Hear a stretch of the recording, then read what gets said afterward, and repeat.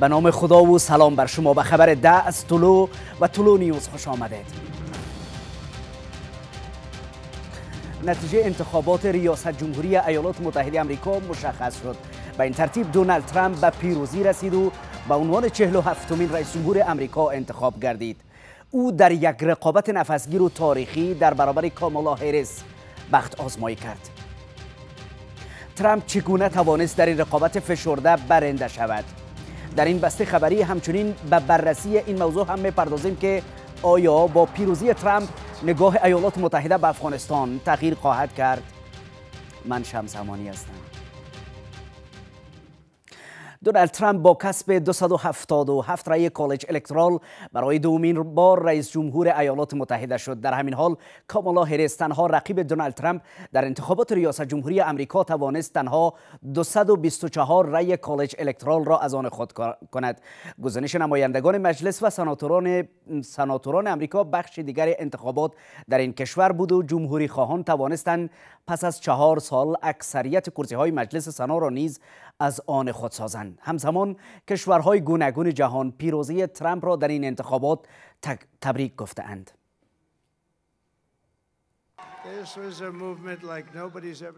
پس از پایان ریدهی در انتخابات ریاست جمهوری 2024 امریکا، دونالد ترامپ با کسب 277 رای کالج الکترال برای دومین بار همچون 47 مین رئیس جمهور امریکا برگزیده شد. او پیش از اعلام نتایج نیز خودش را رئیس جمهور ایالات متحده اعلام کرد.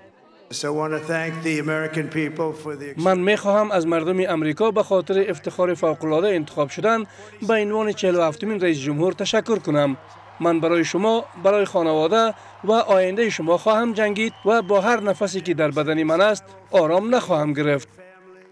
ترامپ در ایالت پنسیلوانیا 50.1 درصد آرا، در کارولینای شمالی 51 درصد، در جورجیا 50 درصد، در میشیگان 50.1 درصد، در ویسکانسن 49 درصد، در اریزونا 51 درصد و در نوادا نیز 51 درصد آرا را به دست آورد. در همین حال کامالا هریس تنها رقیب دونالد ترامپ در انتخابات ریاست جمهوری آمریکا توانست تنها 224 رای کالج الکترال را از آن خود بسازد. کامالا هریس نیز در ایالت های واشنگتن با 58 درصد، در کالیفرنیا با 57 درصد، در نیو مکزیکو با 51 درصد، در ماریلند 60 درصد، در ویرجینیا 51 درصد، در نیویورک 55.4 درصد و در ایالت اورگون توانست با 54 درصد آرا پیروز شود اما نتوانست 270 رای کالج الکترال را که یک نامزد را به پیروزی میرساند از آن خود بسازد. همزمان با این حزب جمهوری خواهان توانستند با گرفتن اکثریت کرسی های مجلس سنای امریکا پس از چهار سال حمایت این مجلس را نیز به دست بیاورند. بر بنیاد نتایجی که تاکنون اعلام شده است جمهوری خواهان توانستند 52 درصد کرسی های مجلس سنا و دموکرات ها نیز 42 درصد کرسی این مجلس را به دست بیاورند اتحادیه اروپا، ناتو، بریتانیا، آلمان، فرانسه، هلند، اوکراین، هندوستان و شمار دیگر از کشورهای جهان پیروزی دونالد ترامپ در انتخابات ریاست جمهوری سال 2024 امریکا را تبریک گفتند. Donald Trump hat die Wahl gewonnen. دونالد ترامپ در انتخابات پیروز شده است از این بابت به او تبریک می‌گویم. آلمان اروپا و ایالات متحده شرکا و متحدان نزدیک هستند. با این حال دو سفر اتلانتیک ما هرگز به یک حزب وابسته نبوده است. در عین حال این ماهیت دموکراسی است که پس از انتخابات هم شرایط سیاسی داخلی و هم روابط سیاست خارجی دوباره تنظیم می شود در سوی دیگر سخنگوی ریاست جمهوری ایران گفته که انتخاب رئیس جمهور در امریکا و نتایج انتخابات هیچ تأثیر بر ایران نخواهد گذاشت. انتخاب رئیس جمهور ایالات متحده خیلی ربط مشخصی به ما نداره. به هر حال سیاست های کلی آمریکا و سیاست های کلی نظام جمهوری اسلامی سیاست های ثابتی است. خیلی هم با افراد در واقع این موضوع جابجایی های سنگین و جدی نخواهد داشت. انتخابات ریاست جمهوری 2024 ایالات متحده دیروز سهشنبه به وقت امریکا آغاز شد و تا ساعت‌های 8 الی 9 شب ادامه داشت. قرار است دونالد ترامپ همچون 47 مین رئیس جمهور امریکا به روز 20 ماه جنوری سال 2025 میلادی وارد کاخ سفید شود. همزمان وزارت خارجه امارت اسلامی نیز در اعلامیه گفته که این وزارت امیدوار است اداره آینده امریکا های واقع بینانه برای پیشرفت ملموس در روابط میان دو کشور بردارد تا این دو کشور بتوانند فصل جدیدی از روابط را در سایه تعامل متقابل باز کنند. عبدالقهار بلخی سخنگوی وزارت خارجه افزوده انتظار می رود آقای ترامپ نقش سازنده در پایان دادن جنگ های جاری در منطقه و جهان به ویژه برای توقف ظلم و تجاوز در غزه و لبنان بازی کند.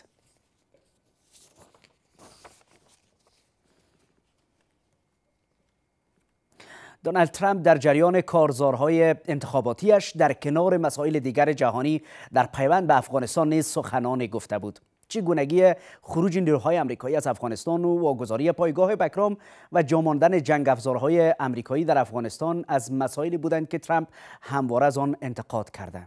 اما اکنون دونالد ترامپ در انتخابات به پیروزی رسیده. راهکار واشنگتن در قبال کابل چه خواهد بود؟ در این گزارش به آن پرداخته شده.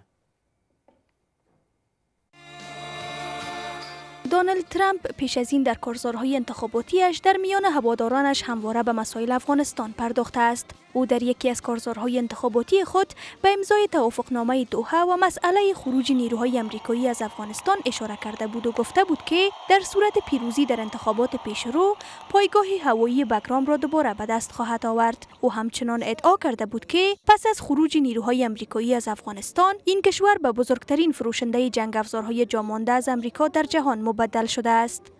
در انتخابات امریکا معمولا رئیس جمهور کاندید وعده های میتن اما در عمل کار کردن نمیتن خود آقای ترامپ هم در دوره اول خود وعده های سپردن و انجام نتانستن به خاطر که پالیسی سیاست خارجی امریکا قبل از قبل تیار و ترکیب شده و اداره بسیار را ترتیب میکنه برای تولمیده برابر منافع ملی خود امریکا و اجرات داخلی هم مطابق به سیستم پیش میره اما اکنون دونالد ترامپ پس از پیروزی در انتخابات چه سیاست ها و پالیسی های را در قبال افغانستان در پیش خواهد گرفت. ممکنه با یک سلسله رویکردهای جدید اولویت ها تعریف بکنه. اگر بس اولویت های قبلی نسبت به افغانستان اولویت صلح بود یا اولویت ادامه گفتگو بود این اولویت ها ممکنه تغییر بکنه. به یک نحوی که هم بتونه قناعت مردم و افکار آمر در جهان کسب بکنه و هم بتونه این طرف حکومت افغانستان امارت اسلامی را به یک نتیجه مثبت و سازنده در درون افغانستان و تعامل با دنیا و رفع تحریم ها دست پیدا بکنه نزدیک بسازه. دیده شود که با آمدن ترامپ آیا سیاست های قبلی خود دنبال می‌کنه یا به اساس واقعیت های عینی جامعه جهان که حال جهان در در حال گذرا از یک قطبی به دو قطبی و سایت سی و چهار قطبی بره ببینه که چی تعامل می‌کنه و سیاست امریکا در اینجا چقدر موثر است. از سوی هم دونالد ترامپ با اعلام پیروزی در انتخابات سال جاری میلادی ایالات متحده گفته است که پس از این کشورش را وارد یک دوران طلایی خواهد ساخت. با این حال رئیس جمهور تازه امریکا در نخستین سخنرانیش می‌گوید به وعده هایش به ویژه در بخش پیشگیری از مهاجرت های غیرقانونی و بستن مرزها رسیدگی خواهد کرد دونالد ترامپ در وضاحت به اخراج مهاجران غیرقانونی می‌گوید امریکا تنها مهاجران قانونی را خواهد پذیرفت. دونالد ترامپ با اشاره به جنگ های جاری می‌گوید طرفدار جنگ نیست و در نظر دارد جنگ های موجود را متوقف سازد. دونالد ترامپ در نخستین سخنرانیش همچون 47 مین رئیس جمهور امریکا به برخی از موضوعات داخلی و جهانی پرداخت. رئیس جمهور تازه امریکا در میان هوادارانش در فلوریدا می‌گوید که به وعده هایش در بخش پیشگیری از مهاجرت های غیرقانونی و بستن مرزها رسیدگی خواهد کرد. دونالد ترامپ در وضاحت به اخراج مهاجران غیرقانونی می‌گوید که امریکا مهاجران قانونی را خواهد پذیرفت. ما باید آن مرزها را ببندیم و باید به مردم اجازه دهیم که به کشور ما بیایند. ما می خواهیم آنان به کشور ما بیایند اما آنها باید به صورت قانونی وارد شوند. آنها نظر به قانون باید قانونی وارد شوند. دونالد ترامپ در بخش دیگر سخنانش با اشاره به جنگ های جاری می‌گوید که طرفدار جنگ نیست و در نظر دارد جنگ های موجود را متوقف سازد. و همچنان با تاکید بر تشکیل ارتش نیرومند می‌گوید که در دور قبلی ریاست جمهوریش داعش را شکست داده بود. ما یک ارتش قوی و قدرتمند می خواهیم و در حالت ایدئال ما مجبور نیستیم از آن استفاده کنیم. ما چهار سال جنگ نداشتیم. ما جنگی نداشتیم جز اینکه داعش را شکست دادیم. آنها گفتند که او جنگ را آغاز خواهد کرد. من جنگ را شروع نمی کنم من می خواهم جنگ را متوقف کنم. این نیز یک پیروزی بزرگ برای دموکراسی است. این در حال است که دونالد ترامپ با کسب بیش از 277 رای کالج الکترال همچون 47 مین رئیس جمهور امریکا برگزیده شد. دونالد ترامپ در کارزارهای انتخاباتی 2024 با وعده های در زمینه های اقتصادی، سیاست خارجی و مسائل امنیتی به میدان آمد. او با تاکید بر کاهش مالیات و افزایش تولید انرژی قصد دارد تا اقتصاد ایالات متحده را نیرومند و هزینه های زندگی را کاهش دهد. در حوزه سیاست خارجی ترامپ از پشتیبانی قویتر از اسرائیل در منازعات غزه سخن گفته و به دنبال تضعیف نفوذ ایران در خاورمیانه است. در پیوند به چین او خواستار اعمال تعرفه های بیشتر و محدودیت های تجاری به منظور محافظت از صنایع داخلی امریکا است. افزون بر این ترامپ قصد دارد کمک های امریکا به اوکراین را کاهش دهد و نقش کشورهای اروپایی را در این جنگ برجسته سازد. دونالد ترامپ در مناظره ها و کرزارهای انتخاباتیش بارها به مسائل گوناگون در سیاست خارجی امریکا پرداخته است او با تاکید بر کاهش مالیات و افزایش تولید انرژی گفته بود که قصد دارد تا اقتصاد ایالات متحده را نیرومند و هزینه های زندگی را کاهش دهد. دونالد ترامپ در یکی از کارزارهای انتخاباتیش خواستار اعمال تعرفه های بیشتر بر کالاهای وارداتی از چین به منظور محافظت از صنایع داخلی امریکا شد. ما مالیات کسب و کار را از 21 درصد به 15 درصد کاهش می دهیم. تفاوت دیگر عمده بین دو نامزد بدون شک در مورد مالیات ها است. ترامپ مالیات ها را بسیار بیشتر از هریس کاهش خواهد داد. این امر بدهی ملی را تشدید خواهد کرد. همچنین ممکن است محرک برای اقتصاد باشد و ممکن است رشد اقتصادی سریعتری را تولید کند. رئیس جمهور تازه امریکا که حامی سرسخت اسرائیل نیز شناخته می شود درباره چگونگی پایان دادن به نبرد در غزه نیز اظهار نظر زیادی نکرده است او در پیوند به درگیری ها در اوکراین گفته بود که اگر او رئیس جمهور بود هرگز جنگ میان روسیه و اوکراین اتفاق نمی افتاد و ادعا کرده بود که پس از پیروزی در انتخابات در 24 ساعت به نبردها میان روسیه و اوکراین نقطه پایان خواهد گذاشت. اگر من رئیس جمهور بودم هرگز این جنگ شروع نمی شد. اگر من رئیس جمهور بودم روسیه هرگز جنگ نمی کرد. آنان وارد اوکراین شدند و میلیون ها تن را کشتند. اما وقتی از اسرائیل صحبت می شود بایدن ناگهان از اسرائیل متنفر می شود. او حتی وقت نتانیاهو برای سخنرانی بسیار مهم به کنگره رفت با او ملاقات نکرد. او از حضور در آنجا امتناع کرد. او اگر رئیس جمهور شود من باور دارم که اسرائیل تا دو سال آینده وجود نخواهد داشت. دونالد ترامپ همچنان تاکید کرده بود که قصد دارد کمک های مالی نظامی به اوکراین را کاهش دهد و به اروپا فشار بیشتری برای بر عهده گرفتن این هزینه ها وارد کند. با این استدلال که امریکا نباید به تنهایی بار مالی این جنگ را تحمل کند. کشور روسیه و چین متوجه کارکردهای ایالات متحده آمریکا در منطقه و جهان می باشد. بنان گفته می‌تونیم که آقای ترامپ اگر به صفت رئیس جمهور انتخاب می شود نمی‌تواند تمامی وعده ها و اختارهای خیش را به جا نمایند. این که این وعده ها تنها در کارزارهای انتخاباتی خلاصه می شود و یا عملی خواهند شد زمان پاسخ آن را خواهد داد. تا دقایق دیگر دوباره برمیگردیم.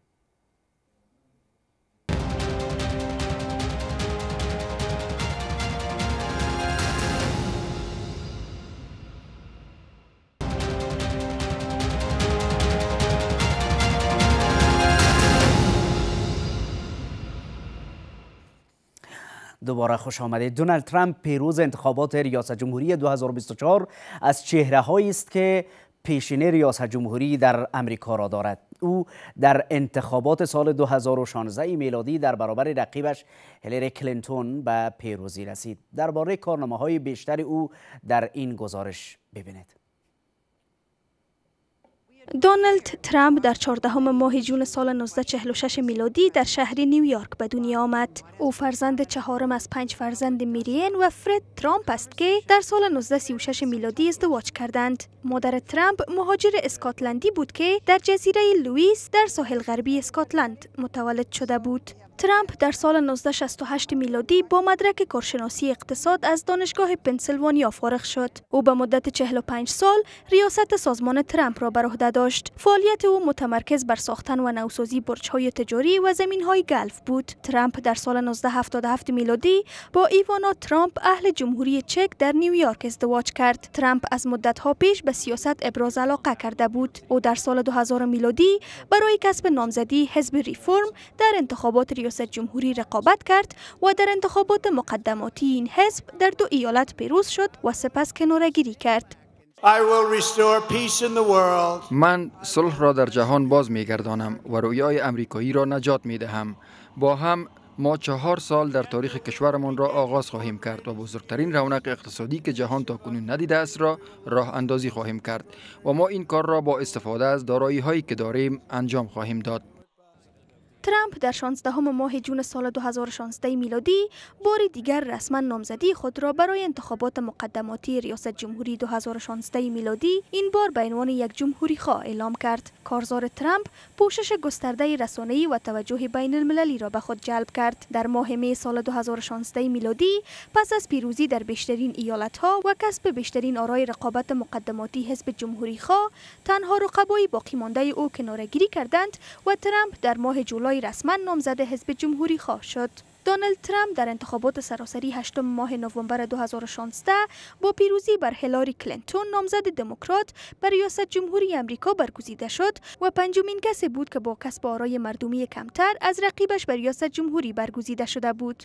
دونالد ترامپ انتخابات ریاست جمهوری سال 2020 میلادی را به جو بایدن واگذار کرد ولی شکست را نپذیرفت. او در خصوص تقلب در انتخابات اتهاماتی را مطرح کرد و مسئولان حکومتی را تحت فشار قرار داد. دونالد ترامپ به دنبال شکست از بایدن در سال 2020 برای دور دوم و غیر متوالی در انتخابات مجدد شرکت کرد. دونالد ترامپ در انتخابات مقدماتی جمهوری خواهان با حریف محدود روبرو شد و نیکی هیلی میانه رو را براحتی شکست داد. او در 12 ماه مارچ سال 2024 میلادی همچون نامزد حزب جمهوری خواهان برای ریاست جمهوری امریکا انتخاب شد. اگر برای کامالا رای دهید چهار سال دیگر رنج، شکست و فاجعه خواهید داشت. کشور ما ممکن است هرگز بهبود نیابد. برای من رای دهید و من دستمزدهایی رو به افزایش درآمدهای سرسام‌آور و افزایش شگفتانگیز مشاغل، ثروت و فرصت برای امریکا از هر نژاد، مذهب، رنگ و عقیده را تحویل خواهم گرفت. دونالد ترامپ نیز آخرین کارزارهای انتخاباتیش را در ایالت میشیگان برگزار کرد. اگر او در انتخابات سهشنبه پیروز شود دومین رئیس جمهور تاریخ امریکا خواهد بود که پس از شکست در یک انتخابات دوباره به کاخ سفید برمیگردد. دوباره برمیگردیم.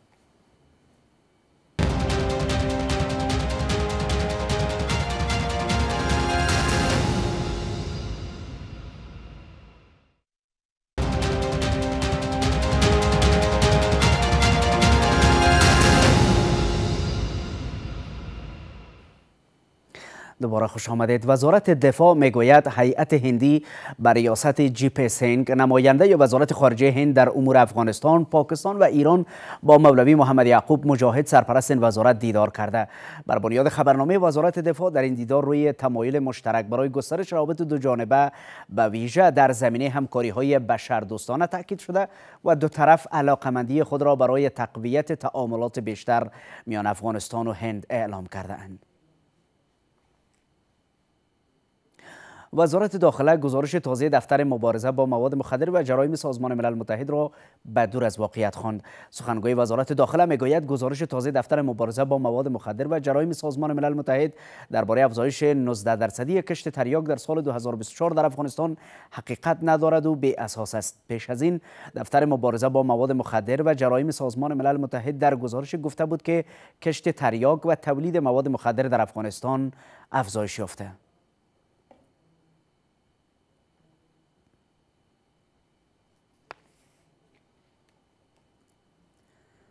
تا دقایق دیگر برمیگردیم.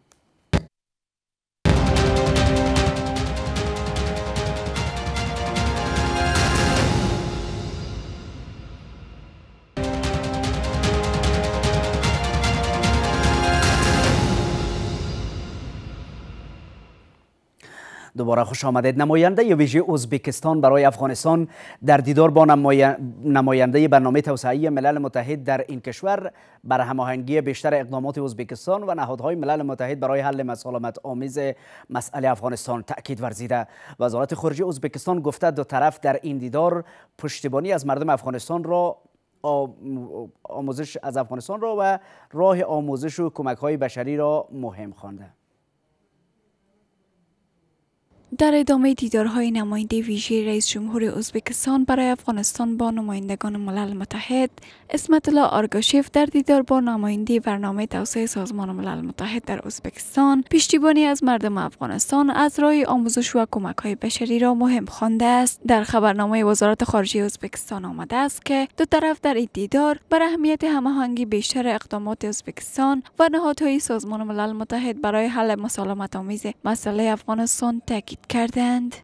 ما می‌تونیم از طریق ازبکستان با آسیای میانه با روسیه چین حتی کشورهای دور از منطقه روابط نیک خوده بسازیم و ازبکستان می‌تونه در این امر ما را کمک بکنه ازبکستان از جمله کشورهایی است که روابط سیاسی و اقتصادی خوب با حکومت سرپرست دارد و سفیر امارات اسلامی در نزدهم میزان سال روان خورشیدی. اعتبارنامه خود را به وزیر خارجه این کشور سپرد. سفیر تازه ازبکستان نیز یک هفته پیش به کابل آمد و انتظار می رود در روزهای آینده اعتبارنامه اش را برای وزرای امارات اسلامی بسپارد. وزارت اقتصاد بهبود روابط میان ازبکستان و افغانستان را به سود کشور می داند. در حال حاضر مناسبات در حوزه اقتصادی و تجاری ترانسپورت زراعت معادن و انرژی جریان داره و قرار است مناسبات توسعه پیدا بکنه. بنابراین ازبکستان یک از شرکای اقتصادی و تجاری امارت اسلامی در حال حاضر محسوب میشه. پیش از این نیز نماینده ویژه ازبکستان در دیدار با نماینده منطقه دفتر مبارزه با مواد مخدر سازمان ملل متحد بر تامین صلح و ثبات و رساندن کمک های بشری به افغانستان تاکید ورزیده بود. وزارت امر به معروف و نهی از منکر در واکنش به واپسین گزارش یونما درباره وضعیت حقوق بشری در افغانستان می‌گوید. این نهاد هنوز هم گزارشهایشان را بر بنیاد ارزشهای غیر افغانی و غیر اسلامی می‌سازد. سخنگوی این وزارت می‌گوید در گزارش اخیر یونما از دستاوردهای وزارت امر به معروف و نهی از منکر در بخشهای میراث و جلوگیری از ازدواجهای اجباری هیچ اشاره نشده.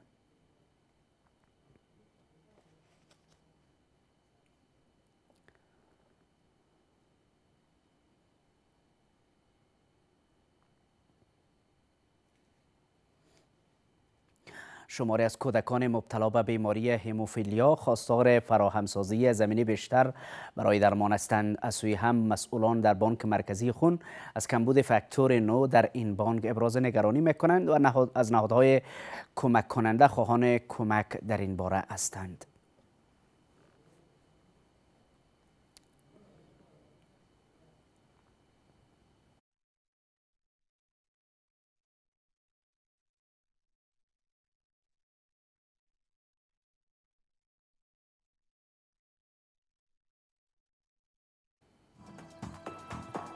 از همراهیتان در طلو سپاسگزارم. در طلو نیوز پس از وقفه دوباره به ادامه خبرها برمیگردیم.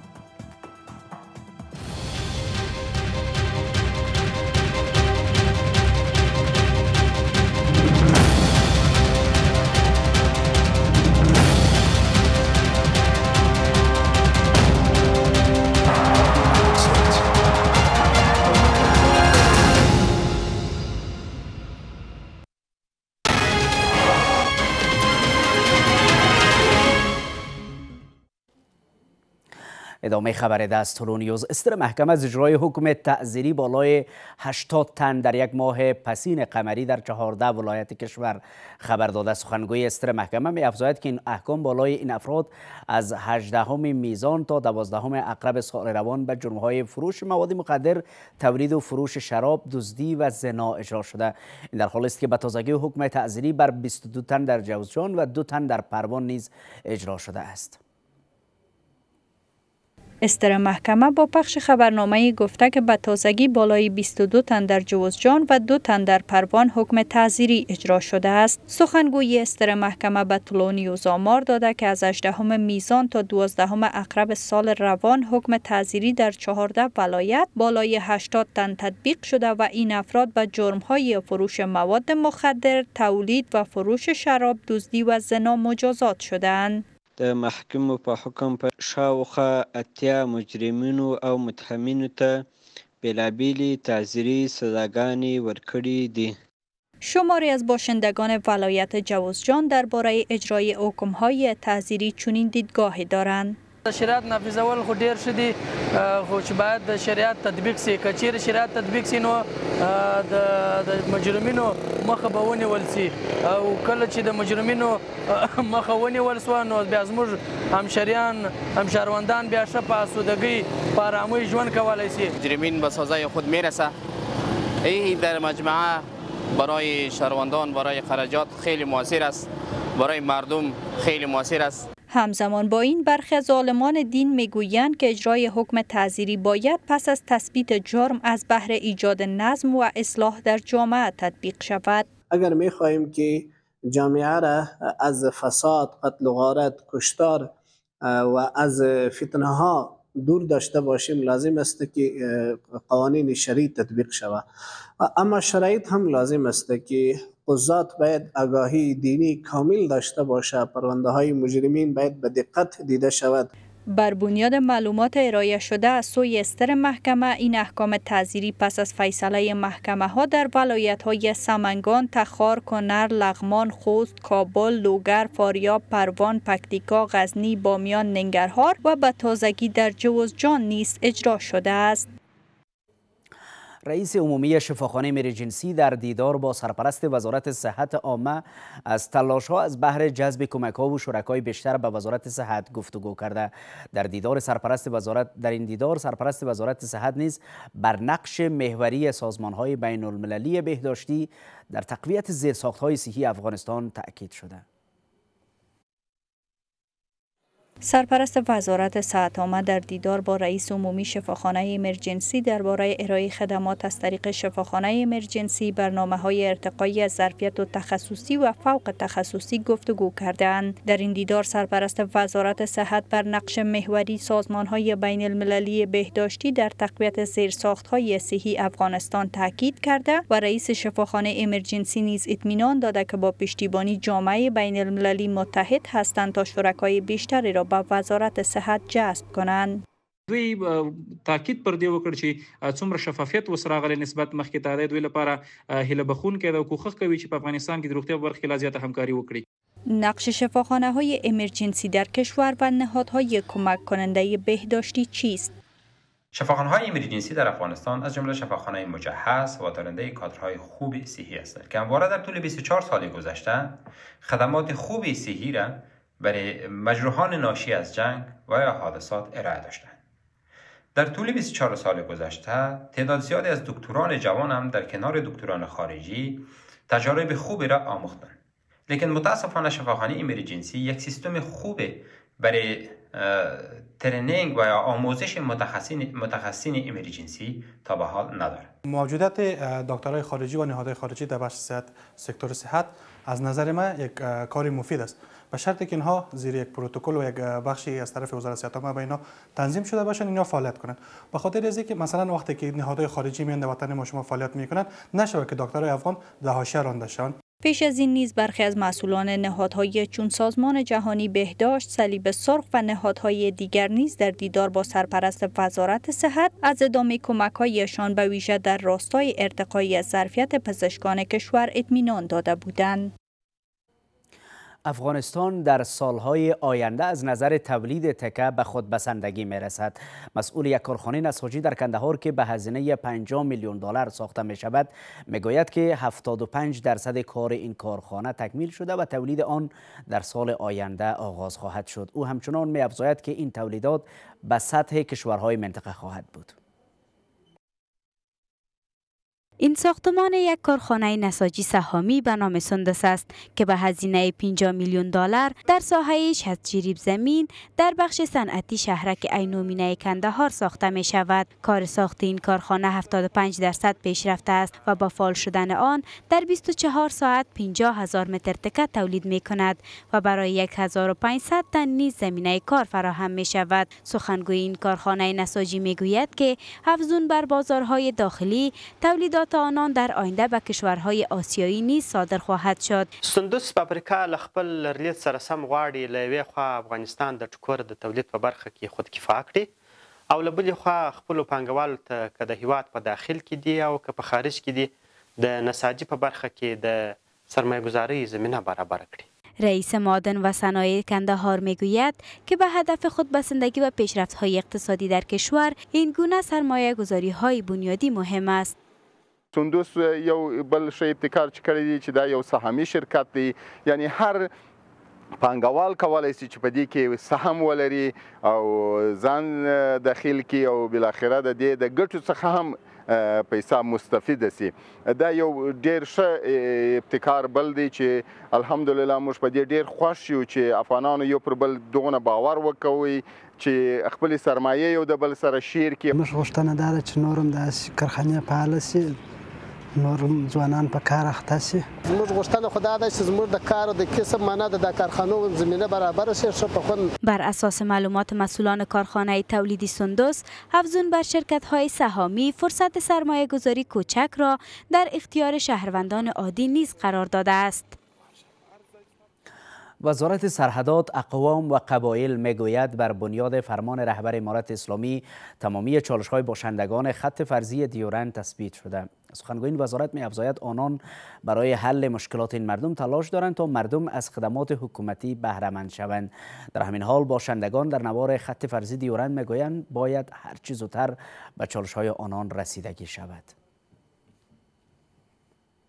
سخنگوی وزارت سرحدات اقوام و قبایل به تولونیوز می‌گوید که سرپرست این وزارت برای تطبیق فرمان رهبر امارت اسلامی برای حل چالش های مردم خط فرضی دیورند به ولایت های ننگرهار، کنر، نورستان، پکتیا، پکتیکا و خوست سفر کرده است. به گفته تسلیم الله حقانی تمام چالش های این مردم تثبیت شده و برای حلشان تلاش دارند تا مردم از خدمات حکومت مستفید شود. یادو کمیټو په شفاف ډول باندې خپل کارونه هغه پیل کړي دي او خپل ستونزې او مشکلات د تثبیت نه وروسته د مرکزی کمیټې سره شریک کړي دي. او مرکزی کمیټې هم دغه ستونزې د ارزولې دي. ان شاء الله تعالی عن قریب به د ځانګړي بودجې لمخې خلک به د دولت د خدمتونو نه برخمن شي تسلیم الله حقانی می افزاید که وزارت سرحدات اقوام و قبایل برای رسیدگی به چالش های باشندگان خط فرضی دیورند در شش ولایت گوناگون کمیته های مردمی با اشتراک مسئولین محلی را ایجاد کرده است. از سوی دیگر شماری از باشندگان خط فرضی دیورند ایجاد کمیته ها را برای حل مشکلاتشان مفید می دانند اما تاکید می کنند که هر چیز زودتر باید به چالش های این مناطق رسیدگی شود. ډیر اړتیا ته ځمکې نشته دی. غریزه علاقه ده یو سرکونو ته دغه ده اوبو ته ده تعلیم ته ده. نو مخابراتو ته د چاغې دغه نه لري کنه صحت ته د چې کلینیکونه نه لري. دولت ښه پریکړه کړې موږ پورا دا بالکل ښه پریکړه ده او خلکو ته ډیر سہولت وشي نو دا ولسوالۍ سرحدي د ډیر خلک کمپیوټري تذکری نه لري. او چې دا غاشای وشي ډیره بخښه هم د دولت لپاره هم د خلکو لپاره این در حالی است که سالها به این سو باشندگان هر دو طرف خط فرضی دیورند با چالش های کمبود امکانات در عرصه معارف، صحت، اقتصاد و دیگر بخش ها دست و پنجه نرم می کنند. مسئولان محلی در هرات می‌گویند به خاطر همکاری با کشاورزان همزمان با آغاز کشت زمستانی آب بند سلما به هشت ولسوالی در مسیر هریرود رها شده به گفته آنان قرار است در مدت سی و یک روز آب بند سلما به نوبت به هزاران کشاورز تقسیم شود. شمار از کشاورزان می‌گویند با رها شدن آب بند سلما فرصت کشت زمین های کشاورزیشان فراهم شده. با رسیدن فصل کشت زمستانی آب بند سلما این گونه در هریرود خروشان جریان دارد. آب به تازگی رها شده و قرار است در جریان 21 روز به کشاورزان در هشت ولسوالی مسیر هریرود توضیح شود. مرحله اول که شش شبانه روز از ولسوالی کوسان زندجان و غوریان در مرحله دوم باز شش شبانه روز به ولسوالی گذره و انجیل سامی اینا میشه و نبات بعدی که آخر شش شبانه روز مربوط به ولسوالی پشنوزرغون اوبی و چشته. در حالی که در بخش های از هرات کشاورزان با استفاده از آب چاهای عمیق به کشاورزیشان ادامه می دهند بسیاری از کشاورزان دیگر وابسته به آب هریرود هستند و توانایی حفر چاهای عمیق و خریداری سولر را ندارند. تمام کشت زمستانی یا خزانی یا نسق ولایت ایراد از آب بند سلما بیاری میشه صورت می‌گیره. دیگه آبی وجود نداره. ما فعلا در حالت خوشسالی در ولایت ایراد در حوزه هریرود قرار داریم. امروز بند سلما امی آبی که راه شده 130 متر مکعب در ثانیه به ثانیه. این خود از یک رفایت بزرگی سرنوشت ساز برای دیگان ولایت ایراد رها شدن آب بند سلما در فصل کشت خورسندی کشاورزان را به همراه داشته است. شماری از کشاورزان در هرات می‌گویند که بدون این آب کشت کردن زمین های کشاورزیشان ممکن نبود. کشت زمستانی ما انشالله رحمان صد درصد کفایت می‌کنه. شکر نعمت نعمت افزون کند. ما شکر این نعمت می‌کشیم که الله پاک به ما بند سلمان یک نعمت بسیار فراوانی داده که هم در وقت بهار و هم در تموز ما می‌تونیم از آبیاری بکنیم. وقت کشت زمستانی وقت کشت جو وقت کشت گندم وقت نسق واقعیت زمین ها بسیار خشک بود که یعنی تمام دهقانا زمیندارا یعنی در مجموع مردم هرات تقریبا مایوس بودن که امسال کشت خور چی رقم اینا یعنی زرع کنم یا کشت کنم یا نسق بزیر کنم. با گفته مسئولان در جریان سال جاری به علت بارش باران و جاری شدن سیلاب های نیرومند آب کافی در بند سلما ذخیره شده است. بر بنیاد آمارها نزدیک به 300 میلیون متر مکعب آب قابل استفاده در بند سلما ذخیره شده است. این آب از طریق 121 آبرو کلان به هزاران هکتار زمین کشاورزی و همچنان باغهای میوه در هشت ولسوالی هرات رسانیده می شود. اداره ملی آمادگی مبارزه با حوادث برای بیش از 300 خانواده در پایتخت مواد خوراکی و غیر خوراکی کمک کرده مسئولان در این اداره می‌گویند این کمک ها به خانواده های زیانمند از حوادث توسعه شده. با این حال برخی باشندگان کابل که از این کمک ها مستفید شده اند بر ادامه کمک ها در زمستان پیشرو برای مردم تأکید می‌ورزند. این سیومین دور توزیع کمک های خوراکی اداره ملی آمادگی مبارزه با حوادث برای 320 خانواده زیان دیده از حوادث در مناطق قلعه حیدرخان، میربچکوت و بگرامی کابل است که یک بخش آن را صندوق پشتیبانی از کودکان سازمان ملل متحد همکاری کرده است. دریافت کنندگان این کمک ها از جمله زیانمندان آفات طبیعی و آتش سوزی اخیر در پغمان هستند. یکی از آنان با آنکه از به دست آوردن این کمک ابراز خرسندی می کند اما می گوید که با این مقدار مواد نیازمندی های زمستان را نمی تواند حل کند. کمک ها شکر است. باید کمک ها ادامه پیدا کنه. این کمک خود چیزی نیست که به مردم کردن.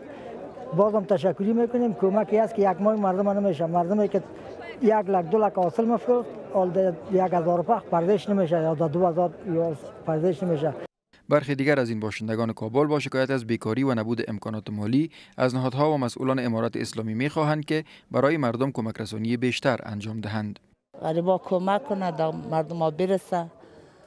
مکو. دیگه کاربار نیست در مردم دیگه. کاربار نیه. کاربار بودی که خیر بود. کمک های خود باید داومدار کنه. مردم زغال کار داره چوب کار داره مریض داره اعمال دمی حادثات که شده ما خیلی زخمی ها داریم. در این میان رئیس اداره ملی آمادگی مبارزه با حوادث با تایید چالش های فقر در کشور از نهادهای مددرسان بین المللی می خواهد که برای رسیدگی چالش های جدی مردم کمک های خود را افزایش دهند.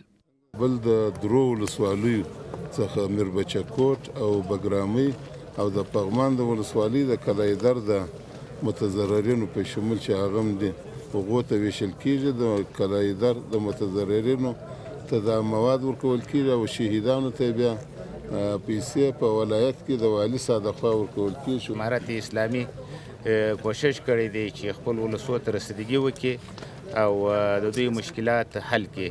لله الحمد په ډیرو حالاتو کې مشکلات حل کړي دي این در حالی است که فدراسیون بین المللی صلیب سرخ روز گذشته با پخش گزارش آمار داده که 23.7 میلیون نفر در افغانستان به کمک های بشردوستانه نیازمند هستند و بیش از 85 درصد جمعیت افغانستان در حال حاضر زیر خط فقر زندگی می کنند.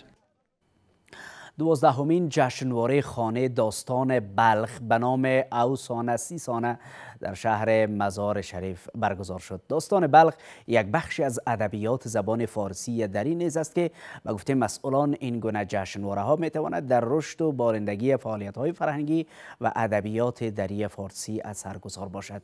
از میان 100 داستان رقابتی در این جشنواره از سوی داستان نویسان سراسر کشور 15 داستان به گونه مشترک در جایگاه ده بهترین قرار گرفتند. همایشی که به هدف اعلام نتایج دوازدهمین جشنواره افسانه سیسانه خانه داستان بلخ اینجا در شهر مزار شریف برگزار شده است. مسئولان می‌گویند که داستان بخشی از ادبیات زبان فارسی دری نیز است که در سالهای پسین جوانان زیادی به داستان نویسی رو آوردند در این جشنواره از صد داستان توسط استادان داوری شد که از این میان 15 داستان به صورت مشترک در جایگاه ده بهتر قرار گرفتند و بیشتر برندگان بانوان هستند. هدف رشد و بالندگی و کشف استعدادهای جوانان افغانستانی در سرتاسر افغانستان و بیرون از افغانستان هست. در این دور از جشنواره بیشتر از 100 داستان ارسال شده بود که در دو مرحله داوری شد. چند داستان مشترک داریم. مثلا چهار داستان مقام پنجم گرفته. دو داستان اول است و دو داستان سوم است. به این ترتیب ما ده داستان برتر و 15 داستان است. و از این جمع 15 داستان بیشترش بانواست. دو نفر اول هم از بانواست.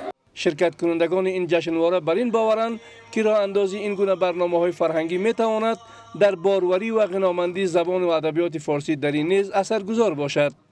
برگزاری چنین جشنواره ها و مسابقات داستان نویسی باعث تشویق جوانان به خصوص بانوان قلم به دست میشه که در شرایط کنونی تنها اشتیاقشان تنها انگیزشان مطالعه است. اشتراک کردن در تو یک برنامه هایی که در رابطه به ادبیات هست و داستان نویسی هست باعث تشویق افراد میشن که دست قلم می‌برن. اگر امید خود از دست نتن تلاش بکنن و به خود مسلط باشن می‌توانن موفقیت های زیادی را داشته باشن. بر اساس گفته های برخی از فعالان فرهنگی در بلخ به علت اوضاع سیاسی در سالهای پسین در کشور فعالیت های فرهنگی نیز متاثر شده بود اما در ماهای پسین علاقمندی به فعالیت های فرهنگی دوباره در حال بهتر شدن است.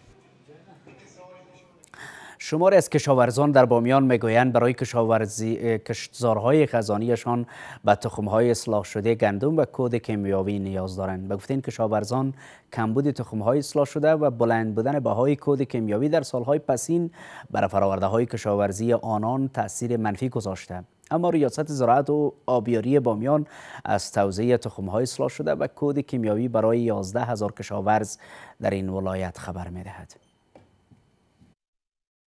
همزمان با رسیدن فصل خزان و آغاز کشتزارهای خزانی در بامیان کشاورزان می‌گویند که به تخمهای اصلاح شده گندم و کود کیمیاوی نیازمند هستند. به گفته این کشاورزان به علت کمبود تخمهای اصلاح شده و بهای بلند کود کیمیاوی در سالهای پسین آنان فراورده های مناسبی برداشت نمی‌توانند. تخم اصلاح شده نیست به کلی در منطقه ما. هم از تخمای وطنی ما سابقه که استفاده می‌کنیم اما اونا خوب زراحت و حاصل خوب دقیق نمیته نمی‌تونیم که برادر قیمت چه ولی خریدم نمی‌تونیم. مردم فقیر خوشکوی است. نمی‌تونه که بخره. اگر بیتونه بیده خوب میشه. می‌بینی کش که بودیم یک دم از تخمی اصلاح شده نیم تخم از خودون چی که پاشیدی هم آفت زد و هم هوا خراب کرد دیگه چندان آباد نبود در همین حال ریاست زراعت و آبیاری بامیان از توزیع تخم‌های اصلاح شده و کود کیمیایی برای 11 هزار کشاورز در مرکز و ولسوالی های این ولایت در سال روان سخن می‌زند. آمیر بخش کشاورزی ریاست زراعت و آبیاری بامیان همچنان از ادامه توزیع تخم‌های اصلاح شده و کود کیمیایی در سال آینده نیز اطمینان می‌دهد. 580 اشاریه 95 متر تن تخمی بذری اصلاح شده از انواع مختلف وحدت 15 صلح 02 و غیره. به مقدار 580.75 متریک تن کود سیاه و به مقدار 578.25 متریک تن کود یوریا. برای تعداد 11395 نفر دهقان در سطح ولایت بامیان از طریق مؤسسات محترم ActionAid و همکاری دفتر محترم FAO و دفتر مؤسسه محترم آقا خان در سطح ولایت توزیع صورت گرفته است. این در حالی است که گندم پس از کچالو از کلیدی ترین فرآوردهای کشاورزی در بامیان به شمار می رود بر بنیاد آمارهای مسئولان بیش از 85 درصد خانواده ها در بامیان گندم را به گونه آبی و للمی کشت می کنند پلیس بدخشان از آغاز روند خلع سلاح افراد مسلح غیر مسئول پاککاری موترهای شیشه سیاه و گردآوری تفنگهای شکاری در این ولایت خبر می‌دهد. هدف از این کار تأمین امنیت و جلوگیری از شکار حیوانات و پرندگان گفته شده. باشندگان بدخشان گردآوری سلاحها از نسل افراد غیر مسئول را در تأمین امنیت در این ولایت سودمند می‌دانند. اینجا محلات بازرسی در بخش های گوناگون شهر فیض آباد مرکز ولایت بدخشان و ولسوالی های آن به هدف خل سلاح افراد مسلح غیر مسئول پاک کردن فلم های سیاه از موترها و گردآوری تفنگ های شکاری آغاز شده است. فرمانده امنی بدخشان می‌گوید که این کار را به هدف تأمین امنیت باشندگان این ولایت و جلوگیری از شکارهای غیرقانونی حیات وحش و پرندگان کمیاب روی دست گرفتند. اونا را وظیفه دادیم که تمام موترهای شیشه سیاه که از شیشه از اونا را سفید کنه و کسایی که سلاح خود سر داره اونا را سلاش بگیره بعد از هیچ کسی حق نداره که موترهای شیشه را بدون مجوز قانونی بگردانه از سوی هم شماری از باشندگان بدخشان گردآوری اسلحه از نزد افراد غیر مسئول را در تأمین امنیت و جلوگیری از شکار بیرویه حیات وحش و پرندگان اثرگذار می دانند. این باعث میشه که شکارهای غیر قانونی که از حیات وحش و پرنده های کمیاب در ولایت بدخشان میشه جلوگیری بکنه. به خاطر از اینکه مسئله غیر مسئول افراد غیر مسئول در بازار گشت و گذار می‌کنن یا باید با دیگر نیروها تفکیک شود یا کی از کی نیستن این اقدامی را که گفتن ما از این اقدام اظهار خرسندی می‌کنیم. این در حالی است که به هدف گردآوری تسلیحات نظامی به دستور رهبر امارت اسلامی یک کمیسیون تثبیت تسلیحات نظامی ایجاد شده بود تا سلاحها و دیگر وسایل نظامی را از نزد افراد مسلح غیر مسئول گردآوری کنند. ریاست وزرای امارت اسلامی می‌گوید کمیسیون تدارکات تا اکنون 290 پروژه را به ارزش 80 میلیارد افغانی منظور کرده. معاون سخنگوی امارت اسلامی همچنان میافزاید این پروژه ها در بخش های زیربنا انکشاف دهات ترانسپورت صحت برق مدیریت آب زراعت مخابرات و دیگر بخش ها در ولایت های گوناگون کشور عملی شده اند در بیشتر از سه سال گذشته فقر و بیکاری از چالش هایی بوده که همواره شهروندان در ولایت های گوناگون از آن شکایت کردند و امارت اسلامی نیز به منظور حل این مشکلات در زمینه ایجاد فرصت های کاری برخی از پروژه ها را عملی ساخته است. به تازگی معاونیت اقتصادی ریاست الوزرا گفته که از ایجاد کمیسیون تدارکات ملی تا کنون برزش 80 میلیارد افغانی 290 پروژه مختلف منظور شده است. د ملي تدارکاتو کمیسیون له جوړېدو بیا تر دې مهاله شاوخوا اتیا میلیارډو افغانیو په ارزښت دوه سوه نوي بېلابېلې پروژې منظور شوې او دغه پروژې په مختلفو سکتورونو لکه زیربنا کلیو پراختیا ترانسپورت روغتیا برېښنا اوبو مدیریت کرنه مخابرات او ځینې نورو برخو کې وي چې دغه د اسلامي امارت له خپل داخلي بودیجه تمویلېدل او په مختلفو ولایتونو کې به تطبیق شي در همین حال شماری از آگاهان مسائل اقتصادی به این باورند که برای رشد و توسعه اقتصادی کشور نیاز است تا نهادهای جهانی مانند ملل متحد، بانک جهانی و بانک توسعه آسیایی روی پروژه های کار کنند که از یک سو زمینه کار را برای شهروندان فراهم کنند و از سوی دیگر در آبادی کشور نیز هم داشته باشند.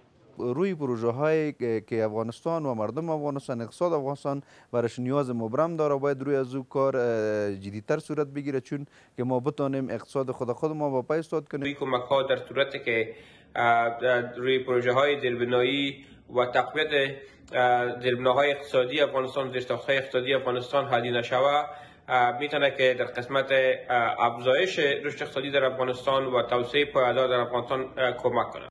این در حال است که در بیشتر از سه سال گذشته همواره مسئولان امارت اسلامی گفتند که در حال حاضر فرصت های سرمایه گذاری در کشور فراهم شدند و سرمایه گذاری های داخلی و خارجی می توانند روی پروژه های زیربنایی، کشاورزی، معادن و ترانسپورت سرمایه گذاری کنند. به این ترتیب اینجا رسیدیم به پایان خبر ده. از همراهی شما سپاس گذارم بقیه شبتان خوش. خدا نگهدار.